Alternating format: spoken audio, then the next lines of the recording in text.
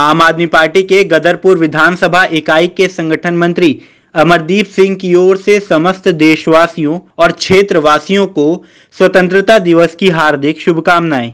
नमस्कार, मेरा नाम अमरदीप सिंह है।